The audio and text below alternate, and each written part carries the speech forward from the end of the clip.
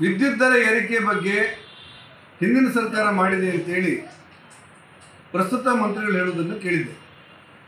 ಸ್ವಾಭಾವಿಕವಾಗಿ ಪ್ರತಿ ವರ್ಷ ಜನವರಿ, ವರ್ಷದ ಜನವರಿ ದಿವಸಗಳಲ್ಲಿ ಈ ಕೆ ಎ ಆರ್ ಸಿ ಅವರು ವಿದ್ಯುತ್ತಿನ ದರವನ್ನು ನಿಗದೀಕರಿಸುವುದರ ಬಗ್ಗೆ ಪ್ರಸ್ತಾಪನೆಯನ್ನು ಸರ್ಕಾರ ಕಳಿಸೋದು ರೂಢಿ ಈ ವರ್ಷ ಅವರು ಕಳಿಸಿದ್ದಾರೆ. ಆದರೆ ನಮ್ಮ ಸರ್ಕಾರ ಅದಕ್ಕೆ ಅನುಮೋದನೆ ಕೊಟ್ಟಿರಲಿಲ್ಲ. ನಮ್ಮ ಸರ್ಕಾರ ಬೆಲೆ ಏರಿಕೆ ಮಾಡಬಹುದು ಅನ್ನುವಂಥ ಅನುಮೋದನೆ ಕೊಟ್ಟಿರಲಿಲ್ಲ ಆನಂತರ ಚುನಾವಣಾ ಘೋಷಣೆ ಆಗುತ್ತೆ. ಚುನಾವಣಾ ಘೋಷಣೆ ಆದ ಸಂದರ್ಭದಲ್ಲಿ ಅಧಿಕಾರಿಗಳ ಮಟ್ಟದಲ್ಲಿ ಇದಾಗಿರ್ಬೋದು ಈಗ ನಾನು ಹೇಳ್ತಾ ಇರೋದು ಸಿದ್ದರಾಮಯ್ಯ ಅವರಿಗೆ, ಡಿ ಕೆ ಶಿ ಅವರಿಗೆ, ಇಂಧನ ಮಂತ್ರಿಗಳ ಸಹಿತ.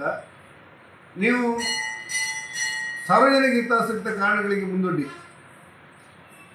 ಯಾವುದಾದ್ರೂ ಸರ್ಕಾರಿ ಆದೇಶ ಇದ್ದರೆ ಅದನ್ನು ರದ್ದುಪಡಿಸುವಂಥ ಅಧಿಕಾರ ನಿಮಗಿದೆ. ನಮ್ಮ ಸರ್ಕಾರ ಮಾಡಿದಂಥ ಗೋಹತ್ಯೆ ನಿಷೇಧವನ್ನು ನೀವು ವಾಪಸ್ ಮಾಡಿದ್ದೇವೆ ಅಂತೀರಿ. ನಮ್ಮ ಸರ್ಕಾರ ಮಾಡಿರುವಂಥ ಮತಾಂಧ ನಿಷೇಧ ಕಾಯ್ದೆನ ವಾಪಸ್ ಪಡಿತೀವಿ ಅಂತೀನಿ ನಮ್ದು ನಾವು ಮಾಡದೇ ಇದ್ದರೂ ಕೂಡ ಇಂಥ ಒಂದು ಸುತ್ತೋಲೆಯನ್ನು ಆಡಳಿತ ವ್ಯವಸ್ಥೆ ಆ ಸಂದರ್ಭದಲ್ಲಿ ಮಾಡಿದೆ ಚುನಾವಣೆ ಅಂತ ನಾನು ಅಂದ್ಕೊಂಡಿದ್ದೆ ನಾನು. ಯಾವ ರೀತಿ ಮತಾಂಧ ನಿಷೇಧವನ್ನು ತರ್ತೇನೆ ಅಂತ ವಾಪಸ್ ತೆಗಿತೇನೆ ಅಂತೀರೋ ಅದೇ ರೀತಿ ಸಾರ್ವಜನಿಕ ಹಿತಾಸಕ್ತಿ, ಇದು ತಿದ್ದುಪಡಿ ಅಲ್ಲ, ಇದೇನು ಕಾಯ್ದೆ ಅಲ್ಲ. ಇದು ಸುತ್ತೋಲೆ. ತಕ್ಷಣ ವಾಪಸ್ ತೆಗೆದು ಬಿಡಬೇಕು ಅನ್ನೋದು ನಮ್ಮ ಆಗ್ರಹ ಇದೆ. ಯಾವುದೇ ಕಾರಣಕ್ಕೂ ಕೂಡ ಇನ್ನೂರು ಎಂಟು ಉಚಿತವಾಗಿ ಕೊಡ್ತೇನೆ ಅಂತ ಹೇಳುವಂಥ ಸರ್ಕಾರ ಒಂದು. ವಿದ್ಯುತ್ ದರ ಒಂದೇ ಸರ್ತಿಗೆ ಎರಡು ಪಟ್ಟು, ಮೂರು ಪಟ್ಟು ಇರುವಂಥ ಸಂದರ್ಭ ನೋಡ್ತಾ ಇರಬಾರ್ದು. ನಾನು ಆಗ್ರಹ ಪಡಿಸ್ತೇನೆ, ತಕ್ಷಣ ಆ ಸುತ್ತೋಲೆಯನ್ನು ರದ್ದುಪಡಿಸಬೇಕು ಮತ್ತು ವಾಪಸ್ ಬಿಡಬೇಕು. ಜನರಿಗೆ ಹಿಂದಿನ ದರವನ್ನು ನಿಗದೀಕರಿಸಬೇಕು ಅನ್ನೋದು ನಮ್ಮ ಆಗ್ರಹ.